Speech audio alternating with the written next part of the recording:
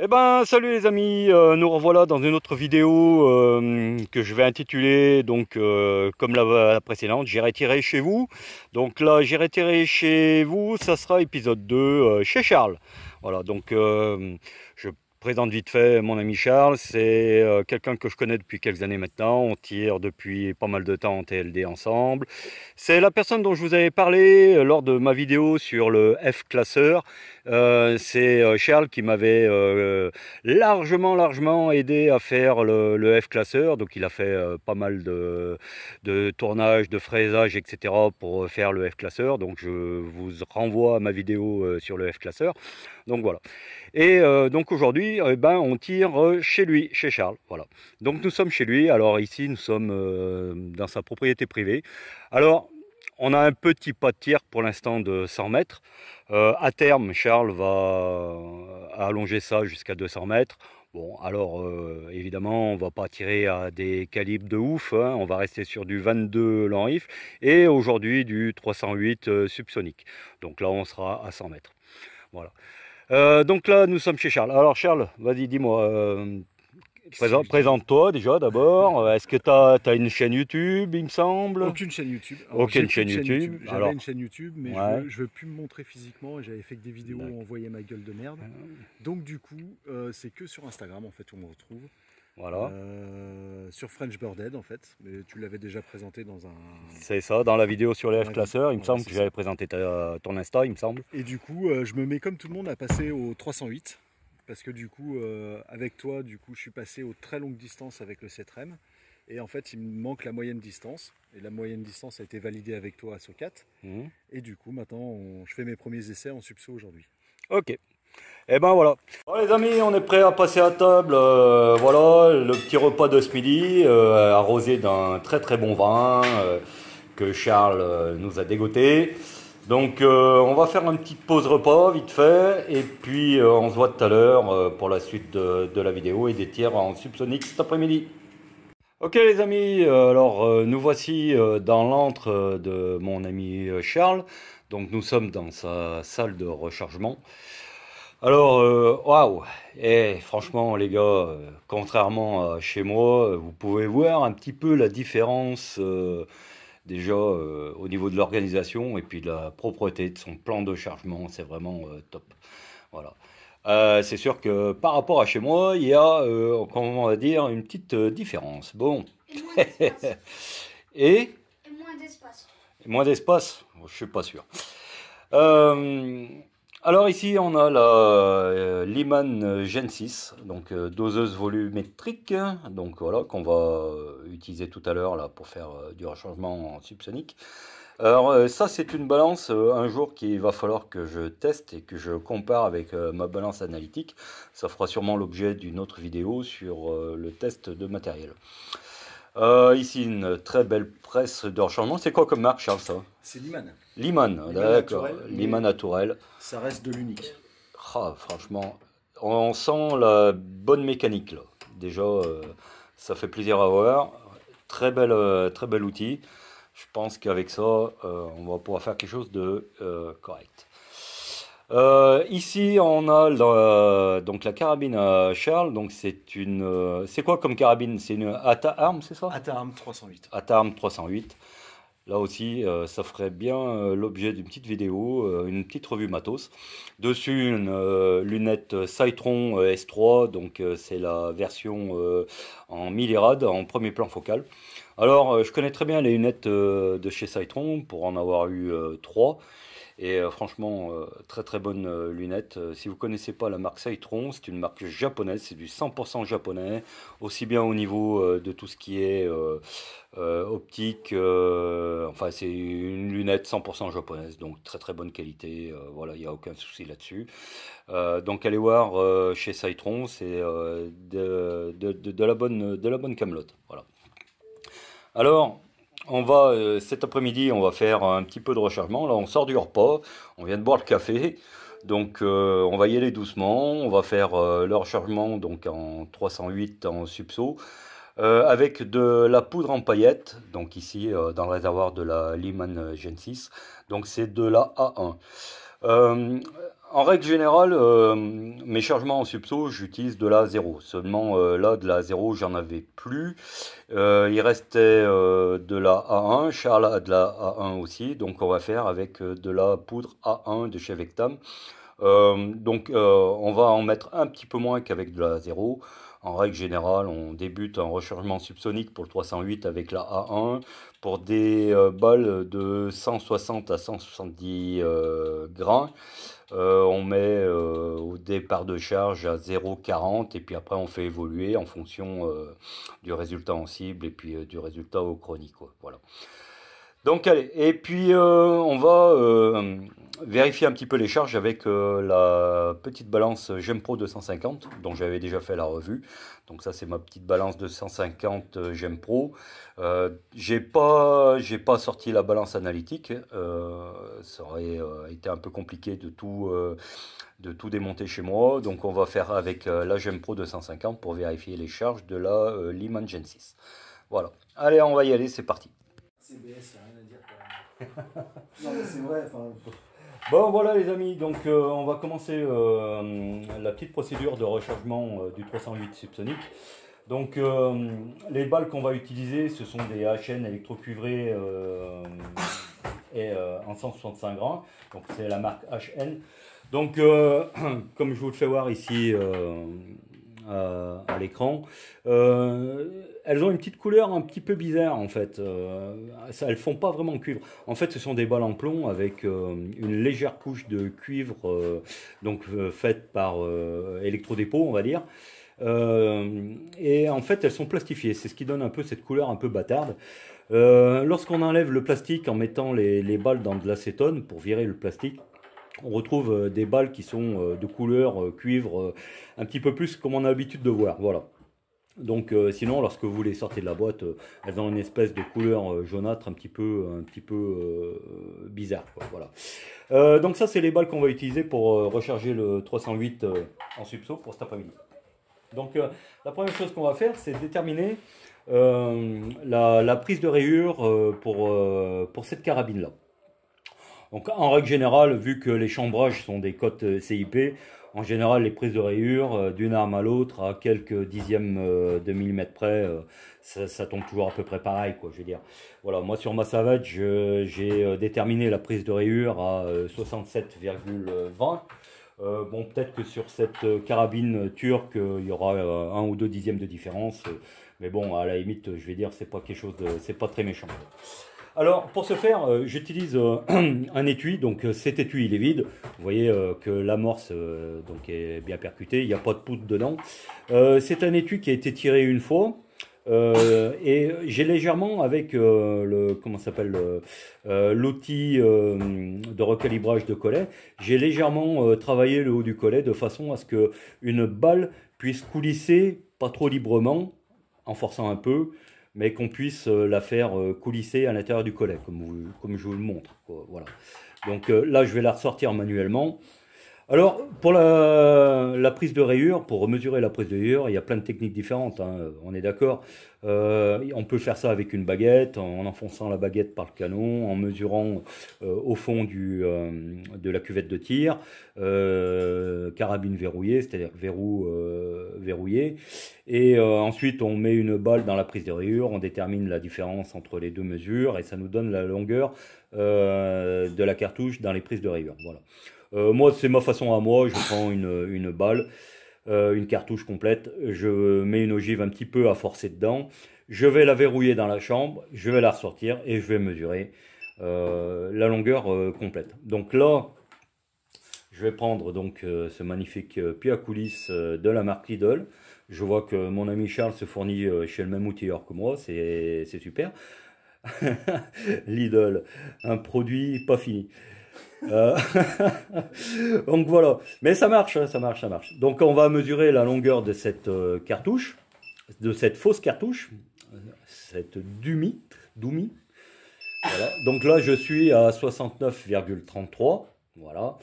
Je vais la chambrer à l'intérieur euh, de la carabine et je mesurerai la cartouche après une fois que je l'aurai ressorti. Et donc, que, la mesure que j'aurai, ça sera une cartouche avec la balle dans euh, la prise de rayure. Voilà, je verrouille gentiment de façon à ce que la balle s'enfonce gentiment dans l'étui. Je la ressors aussi gentiment. Voilà. Donc là, je vais la mesurer. Et maintenant, voilà, je suis à 67,13. Ce qui correspond peu ou prou à ce que j'ai sur euh, ma Savage, puisque sur ma Savage, j'ai une prise de rayure à 67,20. Donc là, on est à 7 centièmes de ma Savage, donc on va considérer que c'est bon. Alors, je pourrais le refaire deux ou trois fois pour faire une moyenne, hein. Mais bon, euh, vu que ça correspond à peu près à ce que j'avais sur euh, à ce que j'ai sur ma Savage, je vais considérer que 67,13 est, est la, bonne longueur. Donc pour avoir donc la balle, euh, dans, euh, dans le début des rayures, donc euh, sur la prise des rayures. Voilà. Alors, vous allez me dire, mais pourquoi, pourquoi mettre la balle à la prise de rayure Alors, c'est ma façon de faire les choses. C'est toujours pareil, comme je dis, il y a 36 000 façons de faire les choses. Ce que je fais voir, c'est ma méthode. Ce n'est pas forcément la meilleure méthode, mais c'est la mienne. Voilà. Donc, pourquoi je veux que ma balle soit dans la prise de rayure euh, on va considérer que lorsqu'on va mettre la poudre, donc euh, en l'occurrence ici on va mettre de la A1, le taux de remplissage va être de l'ordre de, euh, on va dire, un dixième du volume de, l'étui. C'est-à-dire qu'en fait on aura de la poudre à peu près jusqu'ici. Voilà, ce que je montre là au niveau de l'étui. évidemment, on va avoir beaucoup d'air dans l'étui. Donc si vous voulez, il faut que la mise en pression, il faut que lorsque la poudre s'enflamme, il va y avoir un temps de montée en pression à l'intérieur de l'étui. Et moi, ce que je veux, c'est que ce soit ma balle qui soit coincée dans les rayures, d'accord, qui va faire que euh, elle va sortir de son collet au moment où euh, il y a un certain taux de pression dans l'étui. Voilà. Si je ne mets pas ma balle aux prises de rayures, dès que la poudre va s'enflammer, il se peut, il se peut que ma balle commence à sortir du collet, pas forcément tout le temps au même taux de pression dans l'étui. Ce qui va obliger à sortir ma balle à sortir du collet lorsqu'il y aura toujours à peu près le même taux de pression. Je ne sais pas si vous arrivez bien à comprendre ce que je veux dire, mais euh, de façon à ce que, euh, comme je vais la tenir par la prise de rayure, d'accord, elle va commencer à sortir de son collet à peu près toujours avec la même pression à l'intérieur de l'étui. Voilà. Si je la mets pas, si je la mets quelques millimètres avant la, prise de rayure, il se peut que euh, ma balle commence à sortir alors que la pression à l'intérieur de l'étui soit pas toujours exactement la même. D'accord? Voilà. Donc c'est ma façon de faire. Lorsque je fais une balle en subsonique, je mets toujours la balle dans la prise de rayure de façon à contrôler la montée en pression dans l'étui. Voilà. Je vais l'expliquer comme ça en fait, voilà, pour que vous compreniez mieux. C'est pour mieux contrôler la montée en pression dans l'étui. Voilà. C'est pour ça que c'est intéressant de mettre la balle dans la prise de rayure de façon à la tenir. Ok Allez, tout ça, euh, ça c'était euh, la première partie, donc euh, la détermination de la longueur de ma cartouche. Allez, on passe à la suite avec la pesée de poudre. Ok, ben voilà, on est parti pour la pesée de la poudre. Donc là, on, a eu, on va utiliser donc la Lyman Gensits euh, de Charles. Donc on a réglé à 0,40 g de A1, puisque ça va être notre charge de départ. évidemment, on va vérifier les charges avec la Gempro 250. Voilà, là on est à 0,399, donc euh, ça va, ça fonctionne bien. Euh, donc là, ici, on à trois chiffres après la virgule, on est à deux chiffres. Bon, vous comprenez bien quand même qu'avec ça, on est beaucoup plus rapide que si on faisait la dose euh, avec un égraineur sur la Gempro 250.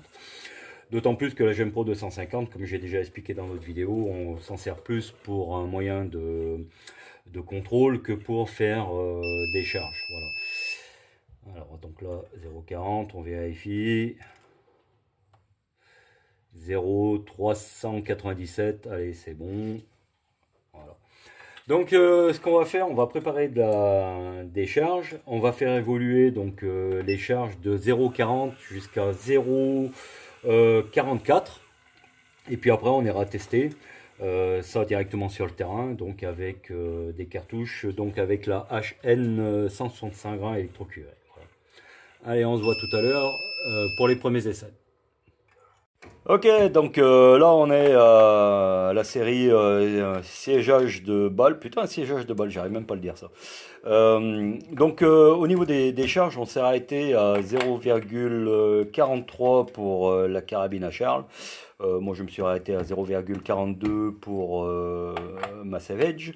Euh, pourquoi on va pas jusqu'à 0,44 Eh ben, on est un peu pris par le temps parce qu'il est déjà 4h30 de l'après-midi. On a fait, euh, on a fait nos vieilles en fait. On a passé plus de temps à discuter, à raconter des conneries qu'à bosser. Donc là, on est un peu pris par le temps. Donc euh, on va finir de siéger les balles et puis on va aller sur le pas de tir de Charles. Allez, à tout à l'heure. Donc euh, là, euh, cet après-midi, bon, euh, on, a, on a bien bouffé ce midi, hein. on s'est fait un bon putain de repas, bien arrosé avec ça, on a fait un peu de rechargement comme vous avez vu précédemment dans la vidéo. Et puis maintenant, eh ben, on va voir un petit peu ce que ça donne sur le terrain. Là, on a mis, donc au fond, derrière le petit étang, on a une C50, là vous la voyez pas, mais j'ai une caméra qui va filmer un petit peu les, les tirs là-bas. donc on a une C50, on a quelques gongs, et en même temps, euh, mon fils, euh, avec sa petite 22, va faire euh, un petit peu joujou sur les tout petits gongs jaunes qui sont sur la gauche. Voilà. Allez, on est parti, on va faire les premiers essais. Alors, le truc, c'est qu'on ne pourra pas prendre les vitesses pour la bonne et simple raison, c'est que le chrony qui devait nous servir à prendre les vitesses a rendu l'âme, donc c'est cuit pour les prises de vitesse. Bon, euh, de toute façon, euh, moi j'avais déjà fait mes tests en 308 subso euh, avec la 165 HN, donc je vois un petit peu ce que ça va donner autant en termes d'élévation que en termes de sonorité. Donc même si on ne peut pas prendre les vitesses, on les fera, on prendra les vitesses une autre fois quand on aura un chronique qui fonctionne. on verra quand même là aux premiers essais, on verra si on est à peu près bien ou pas, rien qu'au son et au résultat dans la cible. Voilà. Allez, on est parti. Petit premiers essais euh, donc dans la carabine de Charles, la Atatürk. Donc euh, avec des charges, donc on commence à 0,40 euh, grammes de A1 derrière une balle 165 grains HN. au niveau du bruit, ça m'a l'air bien. Au niveau du bruit, c'est pas mal. Après, on ira voir ce que ça donne en cible. Qu'est-ce que ça donne dans la lunette? À droite. D'accord.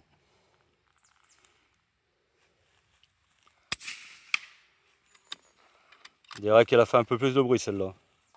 C'est le silencieux qui se remplit. C'est bizarre. Et euh, non, le, premier bruit était euh, aigu. C'est un petit problème avec ce silencieux.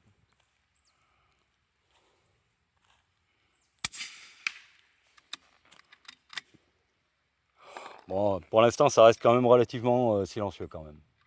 Et puis c'est pas déconnant en cible. C'est pas déconnant en cible. Bon, ben c'est prometteur tout ça.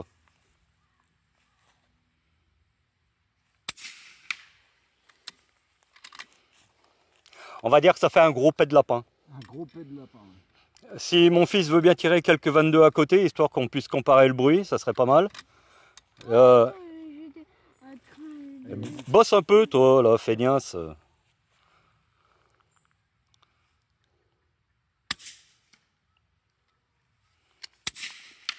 Bon, vous avez vu euh, la 22, le 308 euh, subso à côté.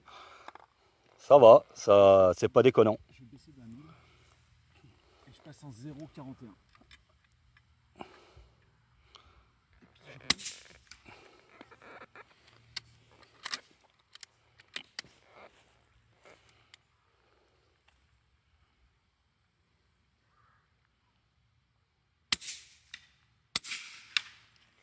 Bon, ça va, 0,41, ça fait pas beaucoup plus de bruit.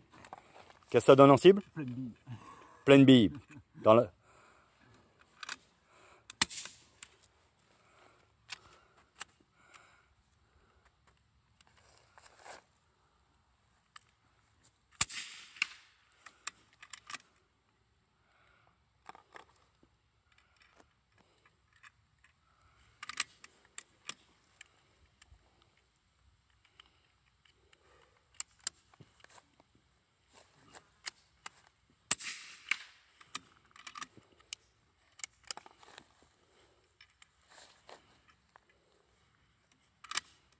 C'est la dernière à 0,41 Il m'en reste une après, l'avant-dernière.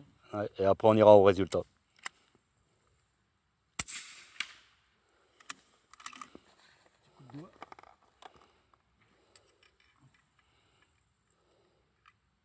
Ah, la sensation, c'est vraiment agréable. Ah bah Ah, mais je veux dire, c'est pas une sensation de recul, c'est la sensation du, du, euh, du lâcher. du lâcher, ouais, c'est très agréable. hein.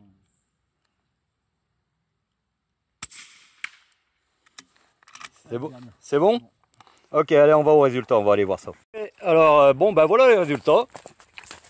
Alors, euh, donc là, j'imagine que ça, c'est, euh, j'ai pas vu, 0,40. j'étais 0,40, voilà. Donc après une petite correction en dérive. Et là, on a les 5 euh, en euh, 0,41. Voilà. Un petit coup de doigt, Ouais. c'est sûr.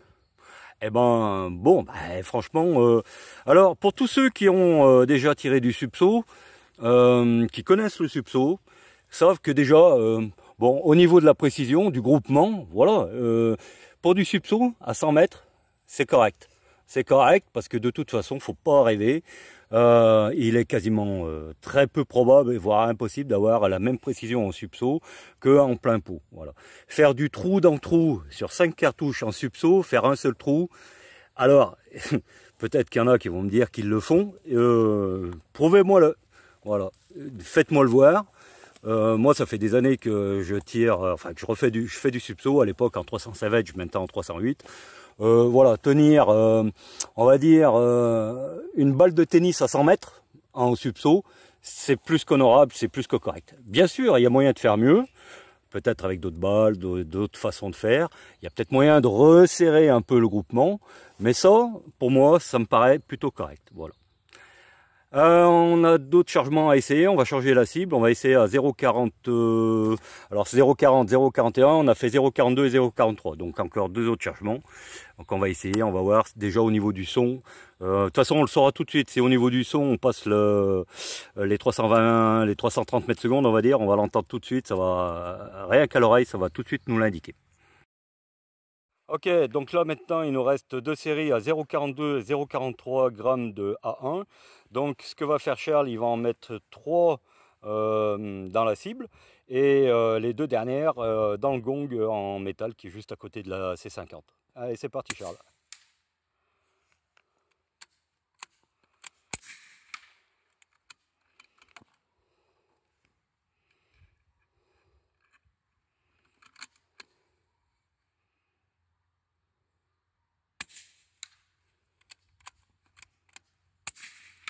Oh là là là.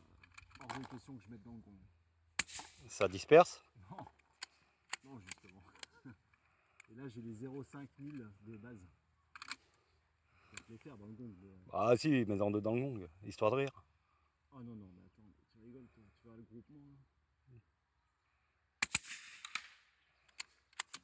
Ah, j'ai rien dit sur le groupement. ah oui, hein, c'est des fois euh, tu te dis ah ça groupe nickel et puis t'en as une qui fait euh, flyer. Non, mais c'est ma faute celle-là. Celle-là, c'est ma faute, c'est moi qui ai mal euh, mis. Attends, je, la- je la retire quand même dans la cible parce que celle-là, euh, je ferai le gong après.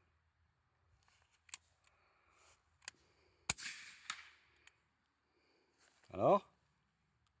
Alors, alors, alors, euh, putain, gong plein centre là, c'est bien. Allez, gong plein centre si j'y arrive. Il me reste qu'une cartouche. La dispersion est plus grosse alors du coup. Que 0,41. Petit gong.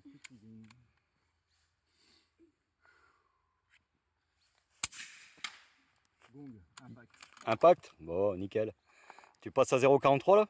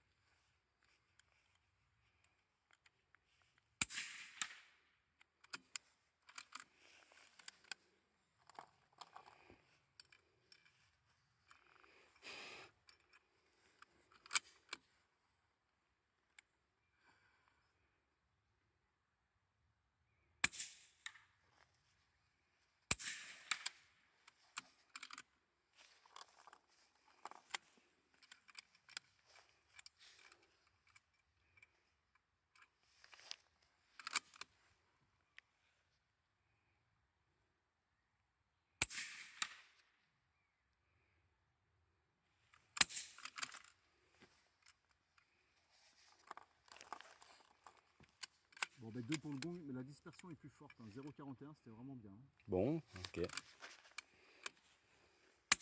On va passer au-dessus, je pense. Gong. Juste à côté. C'est pour ça la dispersion est trop forte. Ouais, 0,41, ça m'a l'air d'être pas si mal que ça. Ouais, hein. c'est pas mal, hein, parce que là, du coup, j'ai une grosse dispersion quand même.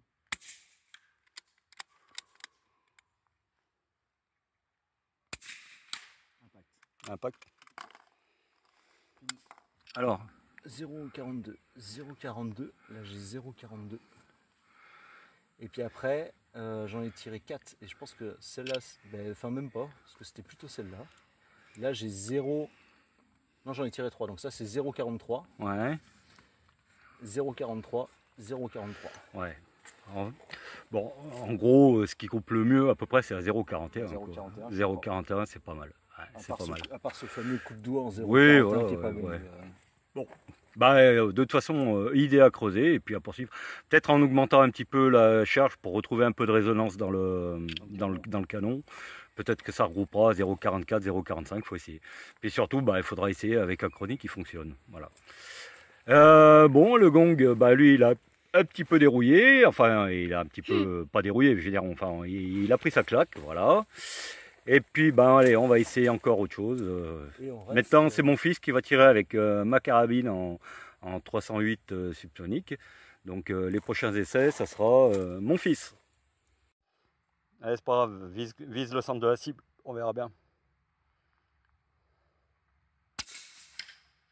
Impact 10 ans, 308 subso, 10 ans les gars, 10 ans Bien, mon fils, la relève est assurée.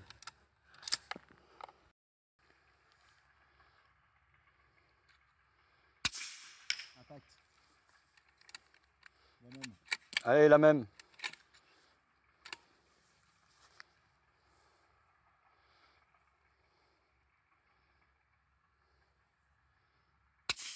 Impact. Oh putain. Allez, la même. Coincé dans le bois, coincé dans le bois.